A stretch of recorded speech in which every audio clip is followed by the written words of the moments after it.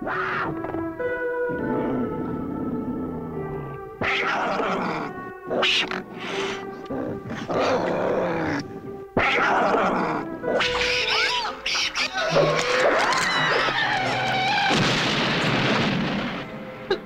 God, he's still living. He's still alive. A kindred. And how many of them were there? Four.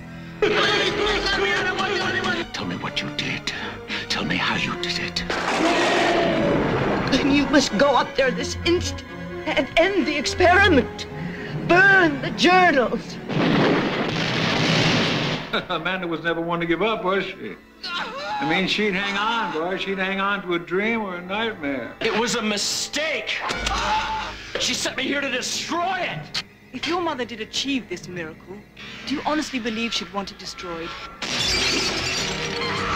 You call yourself a scientist? A brilliant scientist? Turn the goddamn power on. It's part of your heart, part of your mind, part of your soul. It's part of your imagination.